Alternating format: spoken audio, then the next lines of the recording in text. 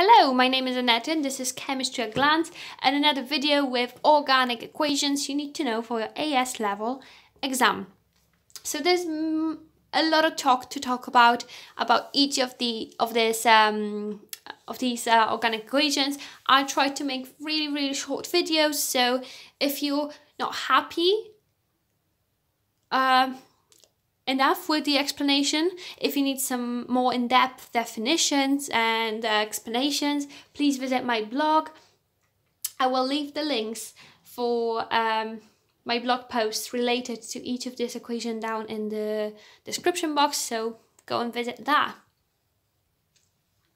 If you're happy, and this is a revision for you and not first time learning, um, we're going to go further and explore the test for halogenoalkanes.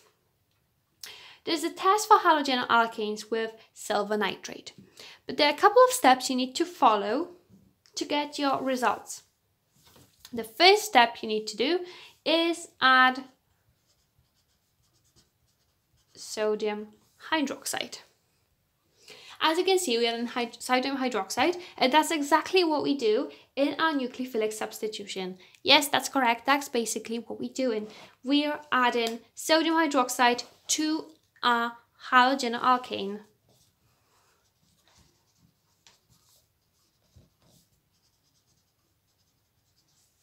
to form a alcohol. And we form an alcohol because Remember in nucleophilic substitution, when you created an alcohol, what you were left with also was that halogenoalkane with a minus, and that's what we're aiming for. So after you add your sodium hydroxide, um, we need to remove the excess of it, of this sodium hydroxide, using nitric acid.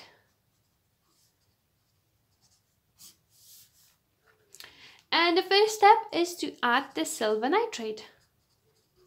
When you add the silver nitrate, and it will find a chlorine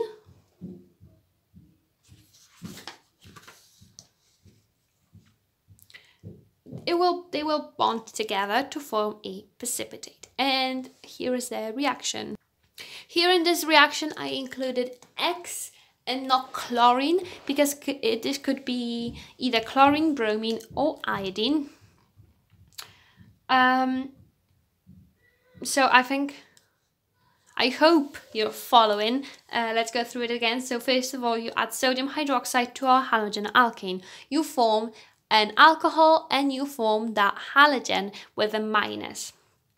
After you add sodium hydroxide, you remove the excess of hydrogen of sodium hydroxide by adding nitric acid. After you did this, um, you add the silver nitrate. Silver nitrate will show you what halogen it is. So this is the overall equation. We have a chlorine or bromine or iodine, which reacted from this reaction where, which we got as a product from this reaction with sodium hydroxide we add our silver nitrate, so our silver ions minus and a plus, they join together to form a solid. This solid means we got a precipitate because they were both aqueous, they're in solution, and when they join together, the moment they join together, they become solid, they precipitate out. And what's very important is that precipitate. If it's a chlorine precipitate, if it's a chlorine, we're going to get a white precipitate. If it's a bromine, we're going to get a cream precipitate. And if it's iodine, we're going to get a yellow precipitate. So depending on what precipitate we get, that's the halogen that was used in the halogenoalkane. And that's the test for halogenoalkanes.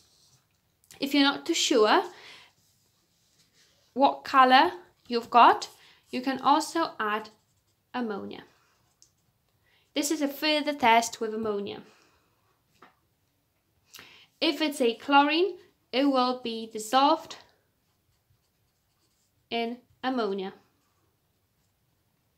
If it's a bromine, it's going to be dissolved in concentrated ammonia.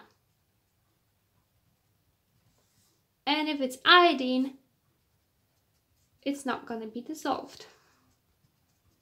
So this is a further test for halogenoalkanes if you're not too sure what precipitate you got.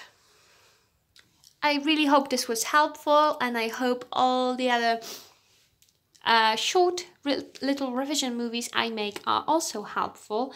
If they are, leave the thumbs up, subscribe to my channel and see you soon.